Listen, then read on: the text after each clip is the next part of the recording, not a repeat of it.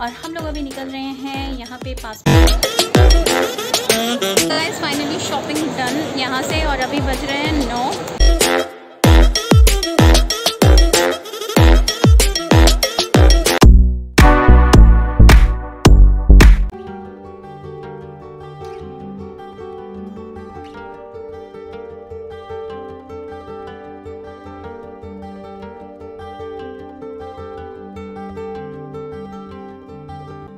Okay guys तो अभी बज रहे हैं रात के 12 and today is nineteen of August तो ये मेरे भाई बहन का बर्थडे है जो हम लोगों ने जस्ट फैमिली uh, uh, के साथ ही सेलिब्रेट किया। मम्मा हैं साइड में बैठी हुई वो कैमरे के सामने नहीं आई क्योंकि रात हो रहा था वो अपने कंफर्ट जोन में थी आराम से। भाई बहन, मेरे दोनों ट्विंस हैं, ज़्यादा डिफरेंस नहीं है, कुछ मिनट का ही डिफरेंस है इन दोनों के बीच में दो केक इसलिए मंगवाए थे थर्ड केक सिस्टर ने बेक किया था, बहुत ही होमली तरीके से हम लोगों ने ये मिड नाइट में सेलिब्रेट किया The next day.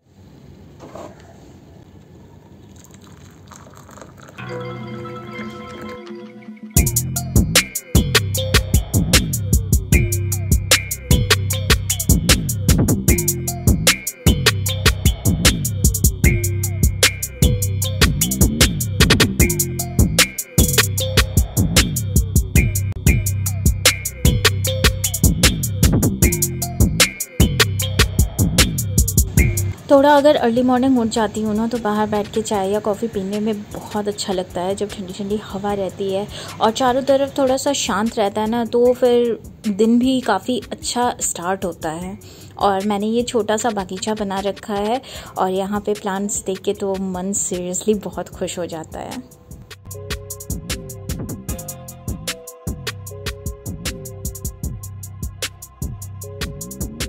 Later. Lifestyle blogging तो मैंने थोड़ी बहुत ही इसमें की है और अब मैं करना स्टार्ट भी कर रही हूँ। तो आप लोगों ने जो पुराने ब्लॉग मेरे देखे होंगे, मालूम होगा आप लोगों को कि गार्डनिंग का मेरे को बहुत ही शौक है। और यहाँ पे जो मैं आप लोगों को शो कर रही हूँ ना, ये है पुई साग। आप लोगों में से जो बंगाली हैं उनको तो ये मालूम होगा ही मैं किस साग के बारे में बात कर रही हूँ। और आप लोग बताना कि इसे हिंदी में क्या बोलते हैं? हिंदी नाम इसका मेरे को बिल्कुल नहीं मालूम। और ये क्या किया था? सिस्टर ने ना ये डाल लेके लगाया था जस्ट इसी आ, मतलब दूसरे टब में लगाया था। मैंने तो फिर रिपोर्टिंग कर दी इसकी पूरी। और ये मतलब इतना बड़ा हो गया और मैंने ना उसमें से डाल काट काट के दो तीन मतलब लगा दिए मैंने बड़े वाले पॉट में सेट करके। और ये पेड़ पेड़ अब काफ़ी बड़ा हो चुका है एंड काफ़ी मतलब अच्छा हो चुका है बट जिस हिसाब से ना इसे बढ़ना चाहिए तो ये बढ़ नहीं रहा है। मैंने अपने गार्डन के लिए कुछ ना अभी ऑर्डर किया था अमेजोन से, शायद आज ये आ जाए। आ जाएगा तो मैं नेक्स्ट ब्लॉग में या आज आप लोगों के साथ शेयर करूँगी तो। ताज़े करी पत्तों की बात ही कुछ अलग होती है गाइस तो मैंने यहाँ से करी लीव्स तोड़ लिए हैं और मैं चली किचन में कुछ नाश्ता बनाने के लिए।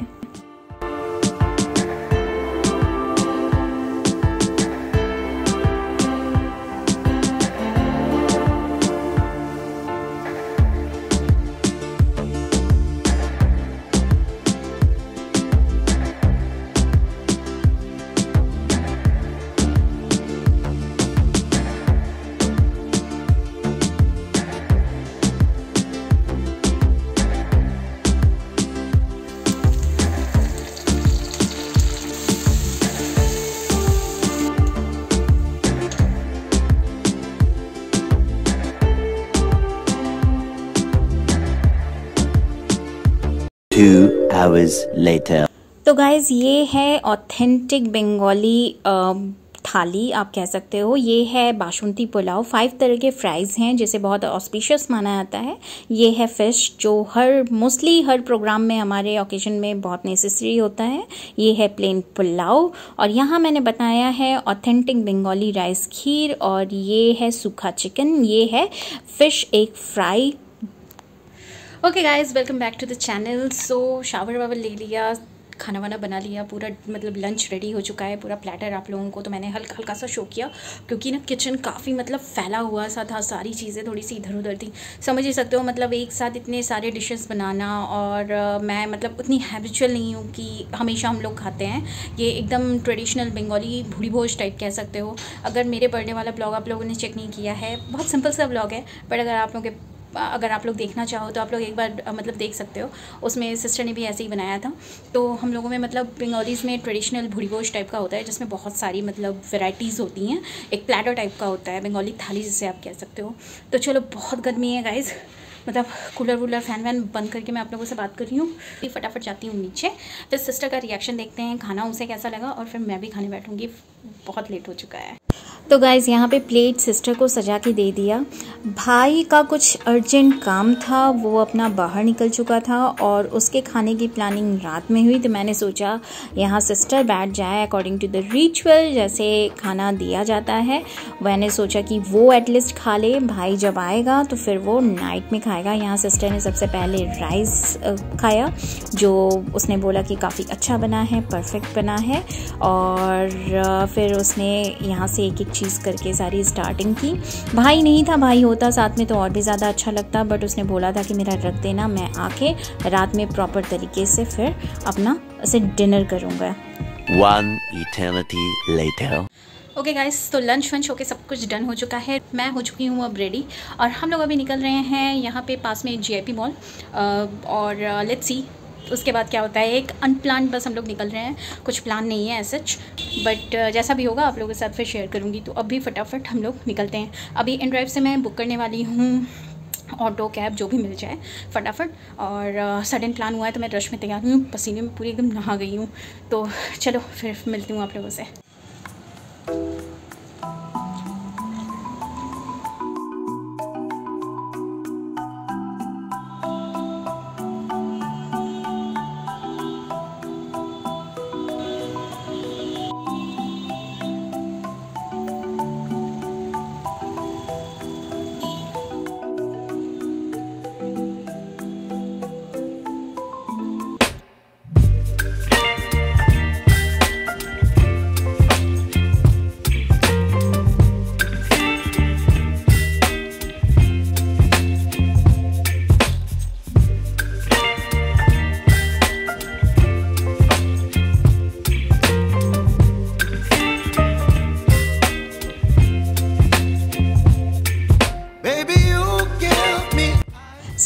रिफ्यूज़ कर दिया कि उसे कैब से या ऑटो से नहीं आना तो फिर हम लोगों ने ई रिक्शा ले लिया और मस्त हवा खाते खाते पहुँच गए फाइनली यहाँ पे मॉल में।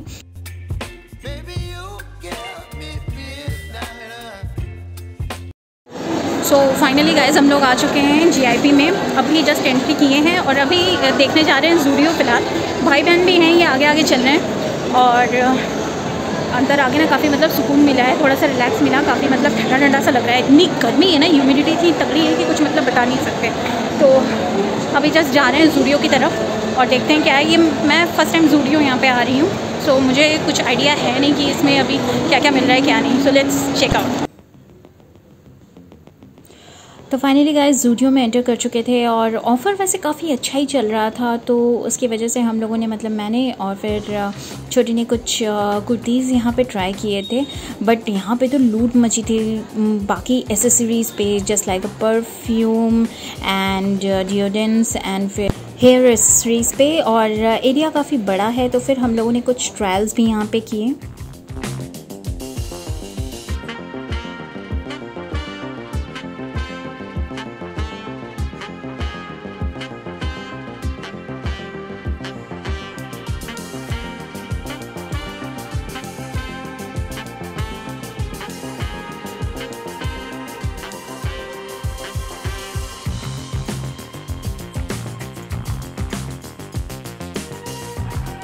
नीचे फीमेल सेक्शन में तो कुछ पसंद आया नहीं तो हम लोग यहाँ पे मेन सेक्शन में आ गए थे। सिस्टर अपने लिए भी कुछ टी शर्ट यहाँ पे देख रही थी, क्योंकि उसे नीचे कुछ भी नहीं मिला था। मेरे को तो मिला ही नहीं, मैं तो फिर मैंने छोड़ ही दिया। भाई कुछ चीज़ें देख रहा था, क्योंकि जैसे T shirt and shirts and shoes क्योंकि ऑफ़िस जाता है तो कलेक्शन तो रखने की ज़रूरत पड़ती ही है उसे। बर्थडे पे तो मैंने इन लोगों के क्लोथ्स ही दिया था, जो इन लोगों के लिए यूज़फुल भी है। और राखी के लिए मैं थोड़ी सी कन्फ्यूज़ थी तो मैंने सोचा कि जब यहाँ पे आ ही चुके हैं तो वो कुछ पसंद करके अपना ले ले। तो यहाँ पे टी शर्ट लिया था सिस्टर ने दो और भाई ने एक शर्ट लिया था, बस। और फिर हम लोग नीचे आ गए बिलिंग के लिए। तो गाइज़ फाइनली शॉपिंग डन यहाँ से और अभी बज रहे हैं नौ और हम लोग निकल चुके हैं। देखते हैं कुछ कॉफ़ी या फिर अगर कुछ खाते हैं, अभी ऐसे इसका भी कोई प्लान नहीं है। देखते हैं क्या होता है। Actually I have some coffee but let's see ये दोनों क्या खाते हैं साथ में। कॉफ़ी पीने के बाद इतने ज़्यादा हम लोग टायर्ड हो चुके थे ना रश भी था थोड़ा सा तो वहाँ पे कुछ शूट नहीं कर पाए। फिर हम लोग बाहर आए, यहाँ पे दोनों कुछ अपना फ़ोटो शूट कर रहे थे। मैंने भी थोड़ा सा मतलब ऐसे ही, थोड़ा हल्का फुल्का ऐसे ही शूट किया। घूमते फिरते हम लोग बाहर गए। फिर काफ़ी प्यास लगी थी तो यहाँ पे आए थे एक मतलब बाहर ना, मॉल के बाहर जो वेंडर्स होते हैं, वो काफ़ी मतलब हेल्पफुल है। एटलीस्ट मॉल के आजू बाजू तो कुछ जल्दी मिलता नहीं है। तो हम लोगों ने यहाँ से फिर एक कोको कोला या ये कोको कोला हम लोगों ने लिया था। और ऐसे पीते पीते फिर हम लोग निकल गए घर के लिए, क्योंकि मम्मा भी घर पर अकेले थी और हम लोग काफ़ी टाइम मतलब शॉपिंग करने आओ तो यूजली गाइज़ जितना टाइम लग ही जाता है, फिर हम लोग निकल गए। फिर ई रिक्शा से ही गए थे तो यहाँ पे एक जूस का दुकान भी है तो हम लोगों ने फिर यहाँ पे आ, सोचा कि जूस पिया जाए तो जूस तो मिला नहीं यहाँ पे फिर हम लोगों ने मैंगो शेक पिया